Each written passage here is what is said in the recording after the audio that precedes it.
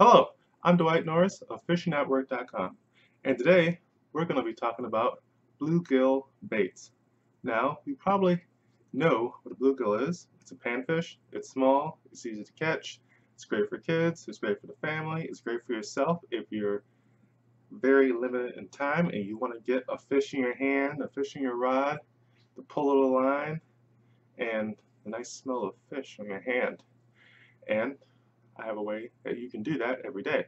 But that's besides the point, and we'll talk about that later.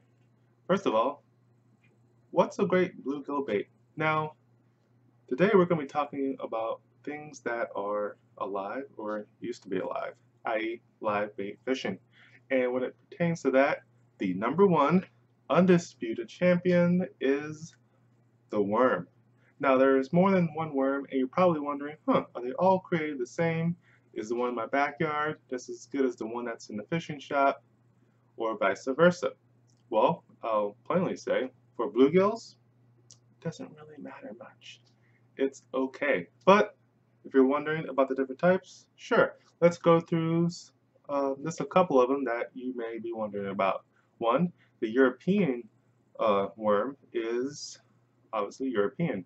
You can find it a lot in Canada, and more specifically, it's a gigantic worm. I'm talking, I think they can go past a foot, and it is really thick and fat. So for bluegill purposes, you only need something about a half inch long. You're using size, I think, 8 to size 12 snell hooks, or um, if you're using bait, fly bait, that's the size of the hook. And pretty much a half inch section of that worm is going to suffice. So that one single worm is going to last a long time. And the price disparity between that worm and another worm can be high.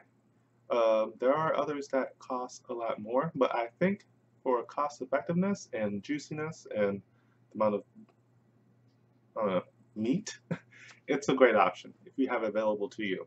If you don't have it available to you, it actually is available to purchase online. Another one, which has been very popular over the years, even when I was a young child, is the night crawler. It did cost a little bit more than the regular earthworm, which is the thing outside crawling through your yard and probably through your garden or whatever else you got out there. And hey, on a nice wet day, you can come out and just grab those bad boys right off the ground because they're drowning down there in the, after the rainstorm and there's free pickings. Get some fresh dirt, throw them in a nice little container that has some holes in them from the breathe a little bit or doesn't need a, a big hole, just a tiny little pinprick.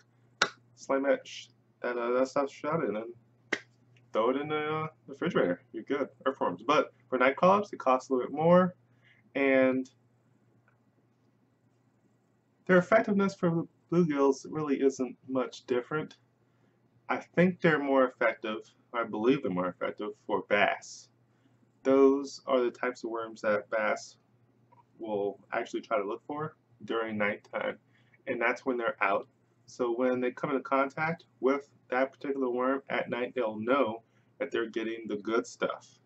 Now, if something weird and foreign like comes around, they'll probably eat it anyway. They're hungry, they're starving. So in essence, for fishing, doesn't really matter. There are a couple other types. One is a trout worm. It's a shorter type of worm, easier for children to like, you know, get the start of uh, actually putting the bait on the hook, and it's easier to deal with. You, you usually get more in the container when you purchase it from a, a fishing shop, fishing store, or tackle shop, whatever you want to call it, and you don't have to worry about cutting it and blood and guts going everywhere. You can just, boom, throw the whole worm on the hook and you're done. No, no fuss. And I did try this out on a previous video, I believe, and it was very effective for time savings and for the amount of things I had to bring with me. And I beforehand never heard of a trout worm, but now I see that it does have a use for one, easy to apply, there's no mess, there's no smell, and they last a long time, maybe even longer than a regular earthworm in the refrigerator. I think I tracked them at, it was almost four months, and they barely lost any size. Unlike the earthworm just shrinks rapidly. There are also red worms, which I normally wouldn't even mention, but the fact that you can use them for composting a lot and people actually farm them in mass, so you can get a lot of them for a very cheap price.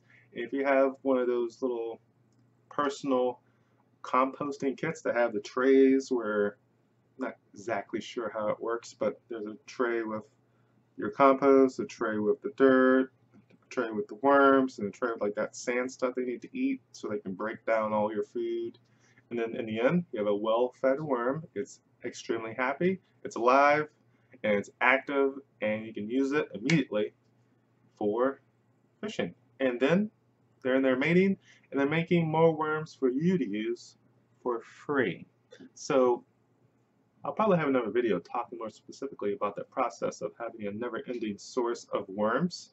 I have to do a little bit more experimenting myself. I'm still on that journey of learning how I can do that because worms, you know, they cost money. And who wants to spend more money than they have to? Not me. So the next thing, other than worms to use, that's very good, and it's a great bluegill bait, is a cricket. They're outside, they're chirping, they're rubbing their legs together, they're maybe annoying you, keeping you awake, or maybe they actually pacify you and put you to sleep. Whatever it is, if you want to go out there and chase them, be my guest. But more likely, you're going to go to a tackle shop and grab a lot of them. And if you're really good one, you can hook those same hooks through and use them as bait as well. They're a great natural bait. They're not going to fuss or even think about whether this is real. They'll know immediately, and you will get a bluegill on there or something else, pumpkin seed, bream, some other type of sunfish, maybe even a crappie or a bass. Who knows? Another great thing, just like that, is grasshopper. You can buy those in bulk, as well as the crickets, online or on a tackle shop, or at a tackle shop. Um, funny thing here is a old story where I used to do competitions with my friend back at a, a lake we used to live at, and my bait of, of choice was bologna. Why? Well, it was less than a dollar for like a 12 pack of bologna at the local store. I was in, I don't know, middle school, therefore cutting the grass and washing the car is not cutting it for night crawlers to have fun on a weekend or any other day. So I had to be inventive. I figured out, hey, what do they love and will eat with no questions and actually stays on the hook. Now dough balls are popular too, you know, mushing the pieces of, of bread together. It's kind of like making a like bread pudding, you know, it gets wet and soggy. But when you put it on a hook, you know, it's kind of like when you're doing carp fishing. They, they the panfish are actually big nibblers, so that dough is going to fall right off, and you're going to have to do it again and put it on there. But no, forget that. Go with the bologna. Tiny little, even a, a quarter inch piece.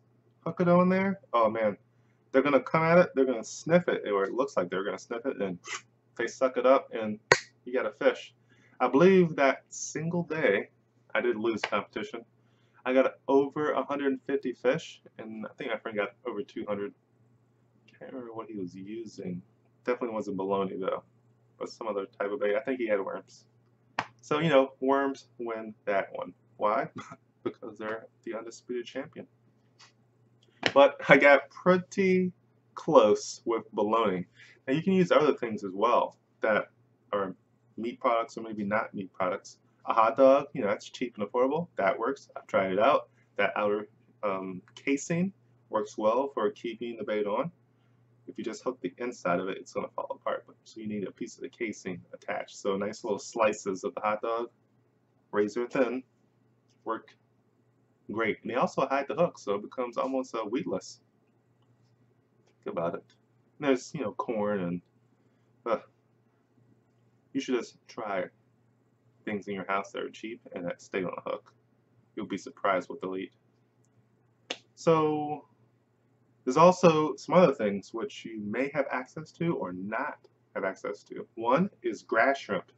Grass shrimp are known for actually eating bluegill eggs, so they're very aggressive against them during their spawning period, the same way bass are aggressive to bluegills when they come near they're spawning beds. Everything's trying to eat another. It's like that old adage where the, the small fish eats a smaller fish, and then the bigger fish eats that one, and the bigger fish, and then the bigger fish. It just keeps going until I guess there's a human head that comes around and gets the last fish, the big tuna. uh, yes, there's also uh, grubs, which you can also dig up in your local area, uh, even in your yard. They're usually under something moist. You don't have to go too far down, six inches, maybe a foot.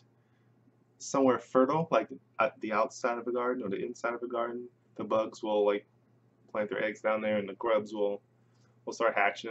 those little white or uh, with the ridges shaped creatures that look disgusting. Well, they're tasty to fish. And if you can get enough of them, great. But once again, I advise that you go to the store and buy them from your local tackle shop or go online and get them delivered to your door. Those things can happen now. We have eBay, we have Amazon, there, and there's other um, third parties um, websites that provide this service as well. And there's even people who actually farm these things and sell them at a great rate. And if you use them a lot, like we will, because we go fishing at work, and we have the opportunity to go fishing almost every day, or every day if you really plan your thing, your uh, you really plan it out. Can I go fishing every day? Yes, I've done it. It's awesome. And sometimes I run out of bait, or there's situations like cyanobacteria that shut everything down, and then I realize I need a boat. It's coming, guys, eventually. Keep saying it, it's coming. I swear. Uh, one last thing, which I haven't done, is ice fishing. What do you do during ice fishing when you want to catch a bluegill? What bluegill baits are good for ice fishing? There are really two things that I know work very well. Besides what I've already said, they could be used, they could work, but the ones I've heard people use a lot are waxworms and mealworms and I guess grubs too, if you could find some that aren't frozen. Those are a little more hardy, they last a little longer in the frigid temps, and they're more natural and available to be found during those periods of time. Therefore, the fish are skeptical when it comes down on a the old high wire trick and fed to them. They're like, oh, it's a waxworm, it's a mealworm. It's time for a quick lunch. It's right there in front of me. It's easy. Gonna bite that. So that's my list of bluegill baits that you should use if you want to catch bluegill. And if there's anything else that you're wondering about, it's probably the fact that these could be used for other panfish as well. Yes, all other sunfish and anything that is in that same panfish family will eat all of these same baits. I don't think there's any of them that most won't eat. Maybe the bologna and hot dog is going a little too far with some of them. Maybe a crappie won't eat that. But the others, the breams, the uh, pumpkin seeds, etc., etc., they, they'll eat the same things. So you should try them all out. And hey, while you're here and you're at it, and you're looking at YouTube, go down below and subscribe to the channel. I'll be making new content almost every day, just like this. If you look back in the past, you know, do a little due diligence on me. Make sure that I'm keep I keep making content. If I'm not, I'm taking a long break. Please comment below and tell me, hey Dwight, where's all that great content you were saying you, you were going to provide us? Where is that, man? Are you taking a break? Are you on vacation? Are you tired of talking about fishing? No, I'm not tired. Not going to be tired anytime soon. Check me in a year. I'm still going to be here. And while you do that, go to the website, fishnetwork.com, and you'll see a nice little link where you can get some nice freebies. One of them is a 10-step process to go fishing at work, and there's another one I'll be making soon about how to catch more bass, specifically largemouth bass, which I have the most experience with, but there's smallmouth bass near here, and you may have some other types of bass. and I know there's a lot of different bass people don't think are different bass. Spotted bass, there's a weird bass down in um, the Okeechobee in uh, Florida, the Swahani. Sw Swahani?